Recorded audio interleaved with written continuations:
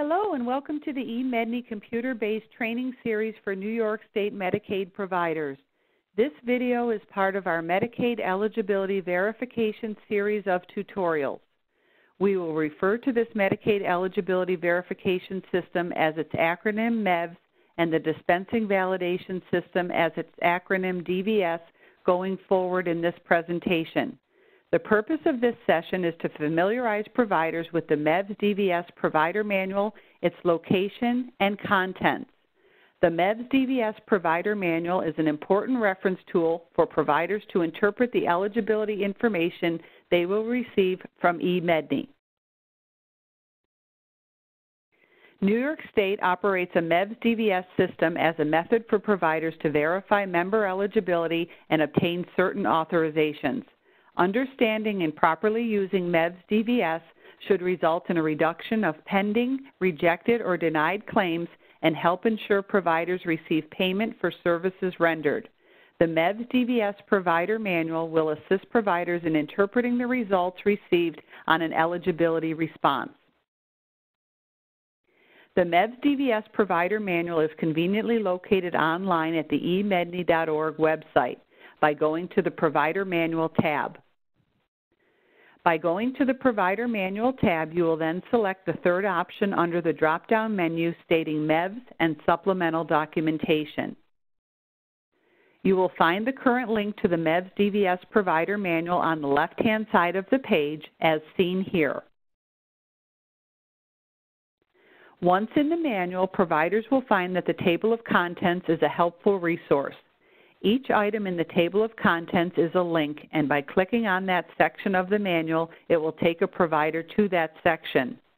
The first parts of the MEVS DVS Provider Manual supply providers with helpful information about MEVS access methods, the Common Benefit Identification Card, and instructions to the Telephone Verification System, also known as the Audio Response Unit.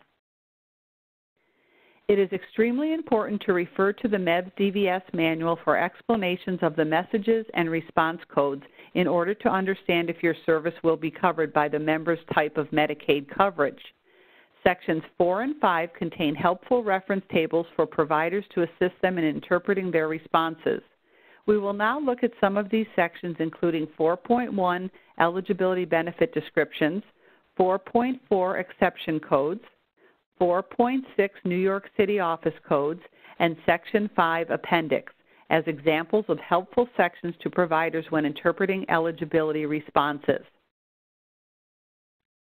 Section 4.1, Eligibility Benefit Descriptions, will assist providers with determining the meaning of a client's eligibility and what services are covered or non-covered by that description. Since these descriptions sometimes list services that are non-covered, providers are encouraged to read through these descriptions carefully. As you can see on this example, Appendix Section 5.1 is occasionally referred to for additional eligibility benefit information. Section 4.4 Exception Codes. This section of the MEVS Provider Manual will assist providers with definitions of the two-character exception codes they find on an eligibility response. These codes clarify a client's eligibility, often identifying certain programs the client may be enrolled in or services they are eligible to receive. Some exception codes will exempt a patient from the utilization threshold program and Medicaid copay requirements. Section 4.6, New York City Office Codes. When a provider checks a client's eligibility, they may find a county code of 66 or NYC in their demographic information. The corresponding office field will contain a code related to which New York City Human Resource Administration office the client receives eligibility and benefit assistance. For members who originated their coverage through the New York Health Benefit Exchange, an additional three-digit office code, H78, will be displayed in the office field. If a patient received their benefits through the New York Health Benefit Exchange, the patient will need to contact the exchange to have the information updated or corrected. Being able to identify how the patient received their Medicaid eligibility is important for providers to determine who needs to be contacted if there is an issue with a patient's coverage. Section 5 of the MEVS DVS Provider Manual is the Appendix section. Some eligibility benefit descriptions refer the provider to the appendix section in order to further clarify those category of services that are covered or non-covered by that benefit description. Providers would refer to this section of the manual for further clarification on services which would be reimbursed for certain benefits. As you can see in this example, if the eligibility response is community coverage, no long-term care, inpatient hospital services billed with the rate code listed in the description are not covered by Medicaid. In addition to the MEVS DVS Provider Manual, there is a quick reference guide available to assist providers with checking client eligibility using one method of MEVS, the Telephone Audio Response Unit. As seen here on this slide, providers will find the document located directly under the MEVS DVS Provider Manual. This guide outlines the instructions for using the ARU and converting letters to numbers for input into a provider's telephone. The MEVS DVS Provider Manual also supplies reference sections for those who are required to obtain a DVS for procedures.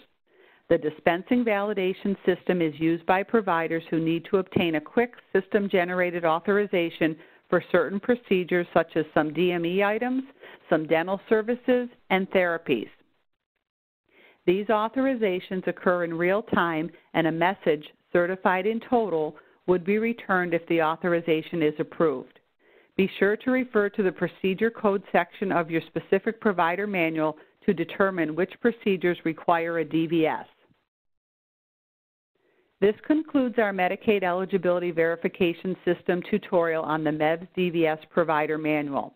We have reviewed the location and helpful contents of the MEVS DVS Provider Manual in this presentation, and providers are encouraged to explore the manual in more detail. The information in this manual explains the messages returned when verifying New York Medicaid eligibility and requesting a DVS, which can reduce provider claim errors. Thank you, and please visit us at www.emedny.org for additional training resources.